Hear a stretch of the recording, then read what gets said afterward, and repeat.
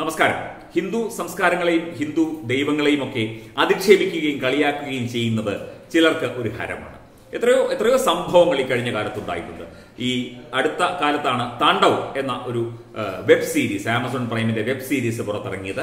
ഭഗവാൻ മഹാദേവനെ ശിവനെ പരിഹസിച്ചുകൊണ്ട് അല്ലെങ്കിൽ അതിന്റെ ആ ഈശ്വര ബിംബങ്ങളെ വെല്ലുവിളിച്ചുകൊണ്ടൊക്കെയാണ് ഇത്തരത്തിൽ സീരിയലുകളും സിനിമകളും ഒക്കെ പലതും പലതും ഇവിടെ പുറത്തിറങ്ങുന്നത്. ഇതിനൊക്കെ അനുമതി കൊടുക്കാനും ചില ആളുകളുണ്ട്. പിന്നെ ചോദ്യപേപ്പറുകളിലൂടെ അതായത് സർക്കാർ സംവിധാനങ്ങളുടെ ചോദ്യപേപ്പറുകളിലൂടെയൊക്കെ ഇത്തരത്തിൽ പല ചോദ്യങ്ങൾ ഉന്നയിച്ചുകൊണ്ട് പല കാര്യങ്ങളിൽ ഈ ചോദ്യമാണ് എന്ന് വരുത്തി തീർത്തുകൊണ്ട് മനഃപൂർവം തിരികെ കയറ്റുന്ന ചില ചോദ്യങ്ങൾ. ഇതൊക്കെ നമ്മൾ പി എസ് സി പരീക്ഷയ്ക്ക് ഉൾപ്പെടെ കണ്ടിട്ടുണ്ട്.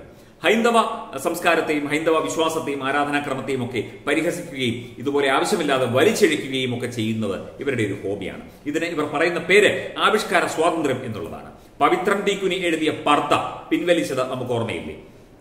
അതുപോലെ എസ് ഹരീഷ് മീശ എഴുതിയത് ഓർമ്മയില്ലേ? ഇത് രണ്ടും ഒരേ രീതിയിലാണോ ഇവിടുത്തെ പൊതുസമൂഹം ഏറ്റെടുത്തത്? അല്ല. ഇവിടുത്തെ രാഷ്ട്രീയക്കാർ ഏറ്റെടുത്തത് ഒരിക്കലുമല്ല.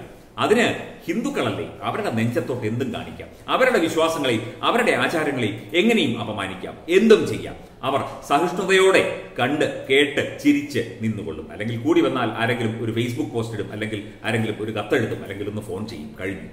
പിന്നെ എന്തുമാകാമല്ലോ?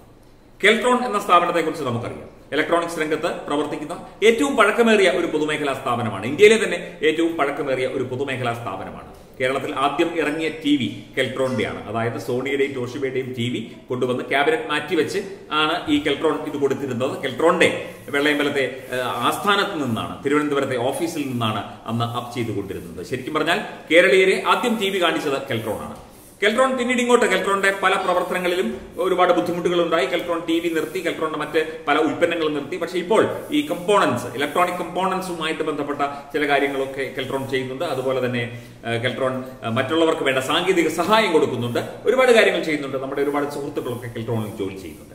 ഈ കെൽട്രോണിന്റെ അതായത് ഗവൺമെന്റ് ഓഫ് കേരള അണ്ടർടേക്കിംഗ് പൊതുമേഖലാ സ്ഥാപനമായ കെൽട്രോണിലെ ഒരു പരീക്ഷയുമായി ബന്ധപ്പെട്ട് വന്ന ഒരു ചോദ്യം ശ്രദ്ധിച്ചു. ഒറ്റ ചോദ്യമേ ഉള്ളൂ. ആ ചോദ്യമാണ് ഈ വാർത്തയ്ക്ക് ആധാരം. ഹിന്ദു ദൈവങ്ങളെ ആക്ഷേപിച്ച് കെട്രോണിന്റെ ചോദ്യപേപ്പർ എന്നുള്ളതാണ് വാസ്തവം. അതായത് കൊല്ലം ജില്ലയിലെ അക്ഷയ കേന്ദ്രങ്ങളുടെ പുതിയ ഫ്രാഞ്ചൈസിക്കായി കെൽട്രോൺ നടത്തിയ ഓൺലൈൻ പരീക്ഷയിൽ ഹിന്ദു ദൈവങ്ങളെ അധിക്ഷേപിച്ചുള്ള ചോദ്യം പ്രത്യക്ഷപ്പെട്ടത് ഇപ്പോൾ വിവാദമായിരിക്കുകയാണ് ചർച്ചയായിരിക്കുകയാണ്.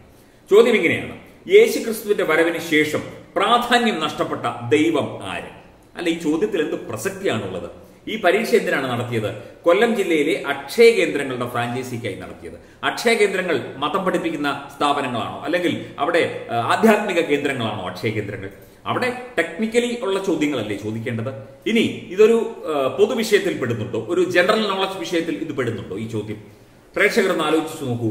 യേശു ക്രിസ്തുവിന്റെ വരവിന് ശേഷം പ്രാധാന്യം നഷ്ടപ്പെട്ട ദൈവം ഏത് എന്നുള്ള ഒരു ചോദ്യം കേട്ട് കഴിഞ്ഞാൽ തന്നെ ഇത് ഇട്ടവന്റെ നല്ല പെട കൊടുക്കട്ടെ ഇവനിട്ട് ഈ ചോദ്യം ഈ പരീക്ഷയിൽ ഇട്ടവന്റെ. അതിന് ഓപ്ഷൻസ് ഉണ്ട്. ഓപ്ഷൻസ് ഞാൻ വായിക്കാം. എ ബ്രഹ്മാവ് B Vishnu C Maheshwaran D Indran. എല്ലാം ഹിന്ദു ദൈവങ്ങളുടെ പേരാ. ഒറ്റ മുസ്ലിം ദൈവങ്ങളുടെ മുസ്ലിമിന് ഒരു ദൈവമേ ഉള്ളൂ. അപ്പം ഇതിനകത്ത് അത് വേണമെങ്കിൽ ചേർക്കാമായിരുന്നു. പക്ഷേ ബ്രഹ്മാവ് വിഷ്ണു മഹേശ്വരൻ ഇന്ദ്രൻ. ഇതാണ് ഇതിന്റെ ചോദ്യം. അതായത് ഏതാണ്ട് രണ്ടു വർഷം മുമ്പ് കൊടുത്ത അപേക്ഷയുടെ അടിസ്ഥാനത്തിലാണ് ഈ പരീക്ഷ നടത്തിയത്. കെൽട്രോണിന്റെ കടപ്പാക്കട ടൗൺ അതിർത്തിയിലുള്ള കൊല്ലത്തെ സബ് സെന്ററിൽ വെച്ചാണ് പരീക്ഷ നടന്നത്. ഈ പരീക്ഷയുടെ അടിസ്ഥാനത്തിൽ കെൽട്രോൺ നൽകുന്ന ലിസ്റ്റിന്റെ അടിസ്ഥാനത്തിൽ ഇന്റർവ്യൂ നടത്തിയാണ് അക്ഷയ കേന്ദ്രങ്ങളിലേക്ക് ഫ്രാഞ്ചൈസികളെ തിരഞ്ഞെടുക്കുന്നത്. ഈ പരീക്ഷയിലാണ് ഹിന്ദു സംസ്കാരത്തെ അല്ലെങ്കിൽ ഹിന്ദു മതവികാരത്തെ വ്രണപ്പെടുത്തിക്കൊണ്ടുള്ള കെൽട്രോൺ ചോദ്യം. കെൽട്രോണിന്റെ തിരുവനന്തപുരത്തെ ഹെഡ് ഓഫീസാണ് ചോദ്യപേപ്പർ തയ്യാറാക്കിയതെന്നാണ് അവർ പറയുന്നത്. ഈ കൊല്ലം ജില്ലയ്ക്ക് അല്ലെങ്കിൽ കൊല്ലത്തെ കെൽട്രോൺ വിഭാഗത്തിന് അതുമായി ബന്ധമൊന്നുമില്ല. തിരുവനന്തപുരത്തെ പ്രധാനപ്പെട്ട കേന്ദ്രത്തിൽ തയ്യാറാക്കിയ ചോദ്യപേപ്പർ ഞങ്ങൾ വിതരണം ചെയ്തു എന്ന് മാത്രമേ ഉള്ളൂ എന്നാണ് ഇപ്പോൾ അറിയാൻ സാധിക്കുന്നത്. എന്തൊക്കെയായാലും ഏഷ്യൻ ഹിസ്റ്ററിയിലെ വേദിക് കൾച്ചർ ടോപ്പിക്കിൽ നിന്നുള്ള ചോദ്യമാണ് ഇതെന്ന് തിരുവനന്തപുരത്തെ പരീക്ഷാ സെന്ററിൽ നിന്നുള്ള ഉദ്യോഗസ്ഥൻ വിശദീകരിക്കുന്നുണ്ട്. ചോദ്യം വന്നതിൽ കടുത്ത പ്രതിഷേധത്തോടെയാണ് പരീക്ഷ എഴുതാൻ വന്നവർ ഹാളിൽ നിന്ന് പുറത്തിറങ്ങിയത്. ചോദ്യപേപ്പർ തയ്യാറാക്കിയവർക്കെതിരെ കടുത്ത നടപടി വേണം എന്ന ആവശ്യം വ്യാപകമായി തന്നെ ഉയർന്നിട്ടുണ്ട്. അതായത് ആ വിഷയം ഒന്നുകൂടി പറയാം.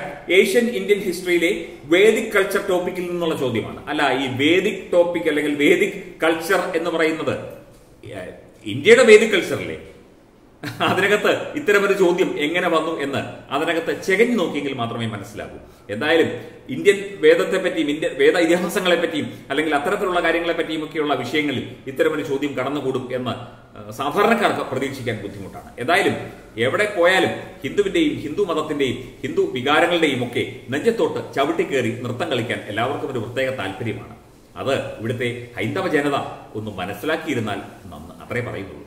Web desk Tatwamayi news.